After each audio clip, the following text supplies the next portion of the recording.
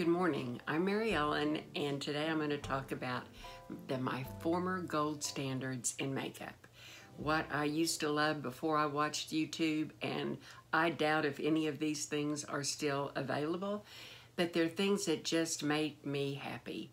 And anybody else who has fond memories of makeup, uh, you might enjoy this. I also wanted to see if I could wear a red lip with no foundation and according to my mirror, it looks okay. I still won't wear eyeshadow unless I have on foundation, but I haven't worn foundation in, oh, probably a month. And something I want to mention, and it's not a big deal, but for some reason today, I just have my lighted mirror over here and then my windows, and for some reason today, it's like lighting out and then sometimes like blurring my curtains. But if it doesn't, then I'm going to take this part out. but anyway, anytime I talk about something that is the best that it can be for me, it is my gold standard. And I think I, I first heard about that in, in grade school, what the gold standard was. It was everything that could you could compare it to. It was the top, you know, like the gold standard way to teach math according to St. Mary's Catholic Church. And it can change. But for me, my gold standards, it's the best that it could be for me. And, and these are the things that I loved back in the day. And as always, there's going to be some chit chat. And if you like back in the day, I did a collaboration several years ago with my friend Bella from the UK. I'm pretty sure she changed it, but it was it used to be Beauty on a Budget but she hasn't been on YouTube for a while and I hope she comes back. But we did a collaboration talking about being a teenager in the 60s and 70s. So I was a teenager until 1973. So I had preteen and teen and it was just, I shared about my memories in the United States and her, it was her memories in the UK. So you might enjoy that. I don't know, I'll put a link to it. I loved makeup more. I like it still, but I loved it back in the day. And why I loved it was because of my grandmother Rose. I just, from the time I can remember, I, I loved watching her put on makeup. And she was in her 70s when I was born.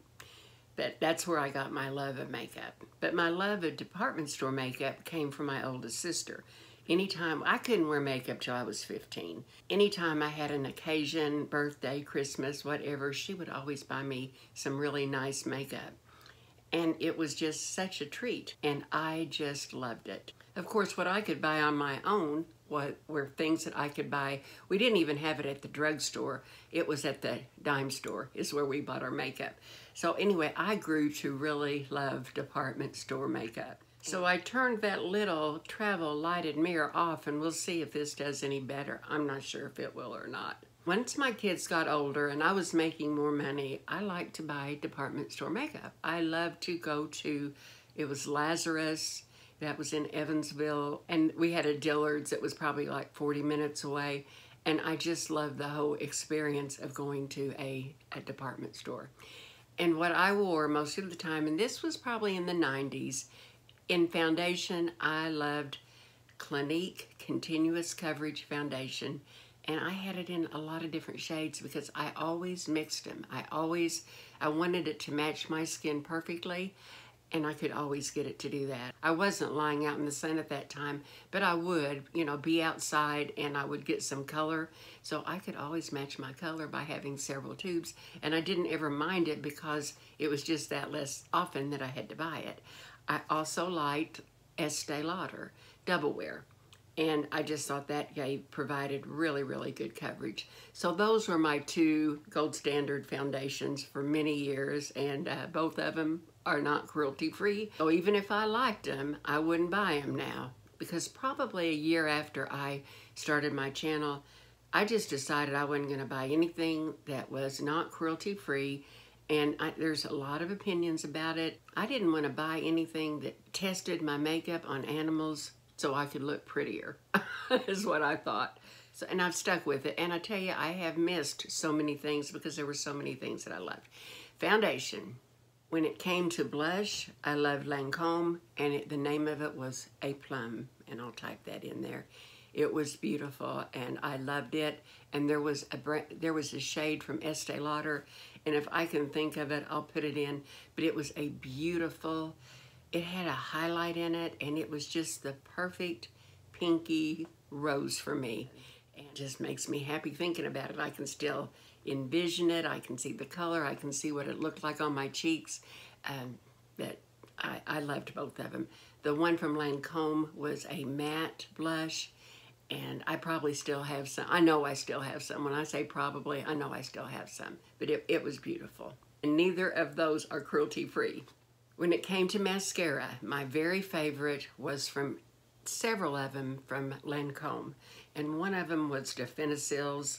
I, I didn't like the waterproof. I've never liked waterproof because it just, I would lose eyelashes trying to get my waterproof, uh, except if you use the Effacils by Lancome you could just put that on a pad and put it on your eye and it would melt it away. But I just never really liked a waterproof mascara. So I also used to buy the Cils Booster, and they still make that, I know.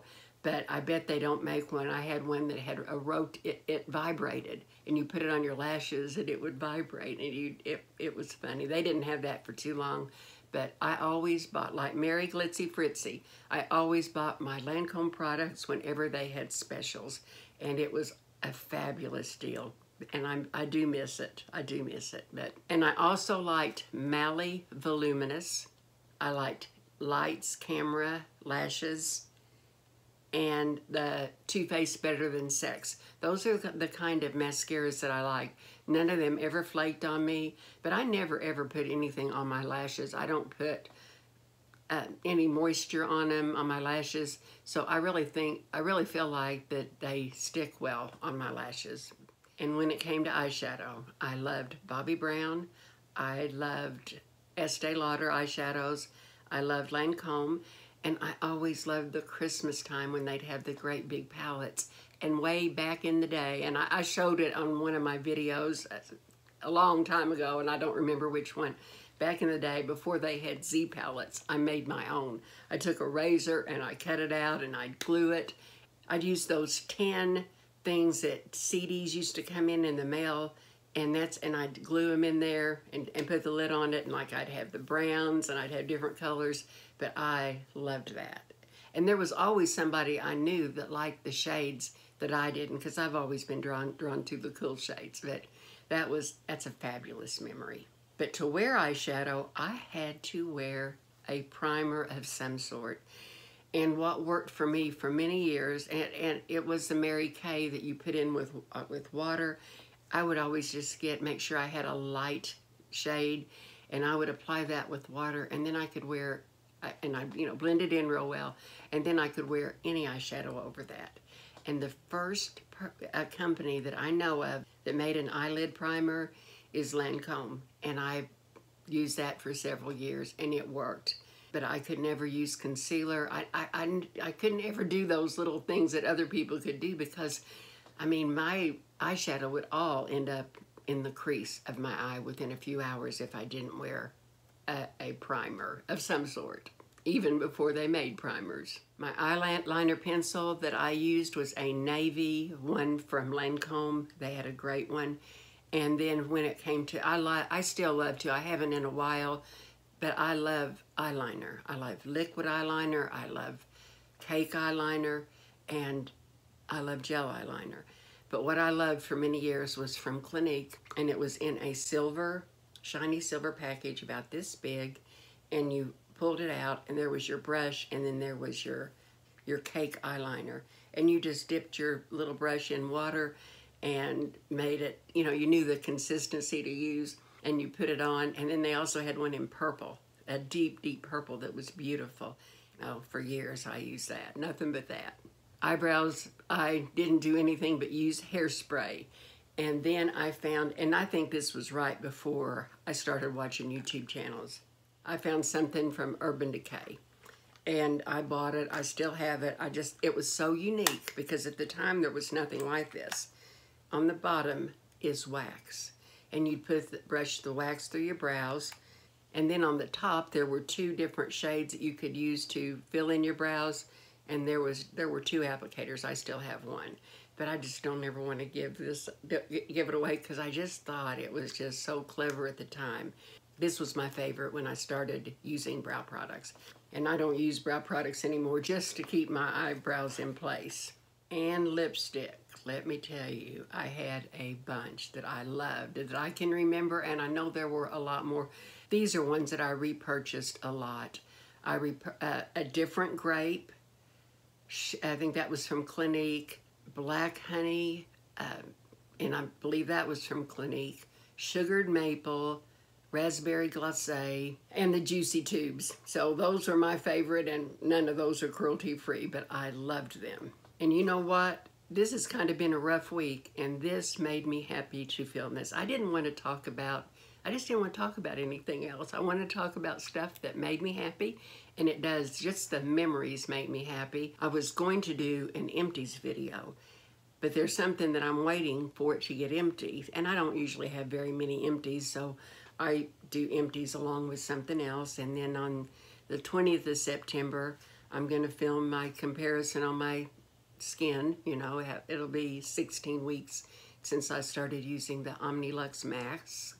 I'll film the footage on that day and then do the video later. So it'll probably be the first or the second video I do in October, just depending on what's going on here. You know, how that can kind of change. But I will have the filming on the 16 week mark. I've been watching a lot of football. I have a senior that uh, in high school that is a quarterback and they have a game every week. Another grandson, he's a sophomore in college and he's gone away and it's probably about four hours away. I haven't gone to any games, but I get to watch him on TV. And he is a sophomore and he is playing a ton on the varsity team. So I get so excited. I get to put him on my either my TV or my laptop and, and watch it. So it's it's really been a joy. But if you're still here, this is going to be a giveaway. And you know I love to do giveaways. And let me think what I want to... Okay, number one, you have to be 18 years old or older. And you just need to leave a comment below. And this time I think what I want you to use are these words right up here, gold standard in a sentence. And you can tell me you're the best of the best, whether it is your favorite jam or jelly, the brand of it, or your makeup, or anything that is just as good as it gets. And one of these days I may film a video talking about my gold standard products for right now, but uh, but I don't know if I will or not. Since this is a giveaway, I will not be able to reply to comments or questions, but if you go to any video of mine prior to this, just you can ask your question or leave a you know a comment there and and I definitely can get back to you. And I forgot to mention what's in the giveaway. Today I'd like to give away to three people a $100 e-gift card or deposit in a PayPal account. And anytime I do a giveaway, unless I mention it in the video, like in my skincare videos, sometimes the companies give me something, but but I would tell you if they do. Somebody asked me that, and yes, I do pay for my own giveaways, and it's my pleasure to do so. As always, I close my videos three days after I upload it, and then I announce a winner on the next video. So you're not going to get, if anybody tells you you won something from me, don't believe it till it comes out of my mouth, because there's still a ton of scammers. Something else, if you're still here, I'm going to mention this. I may have to move this bookcase. I, it looks like it's lined up on my phone, and when sometimes when I look at it, it's not, and so we'll just see if I got it straight. There's lines in the grid of my cell phone, and it looks perfect. Before I had the bookcase here, I had I could level it and it would be level. But when you live in a home that was built in 1891, I guarantee you these floors aren't level. So maybe I could prop up the end. I don't know. But anyway, it is all good. Uh, thank you for spending time with me because I appreciate it so much. I will see you in my next video and you take care. I have no idea what is going on. There's nothing that's changed. Because, but even if, because in grade school, and I used those, uh, this isn't, but for some reason, my I I phone and another one I did and before I, am I just didn't ever really like the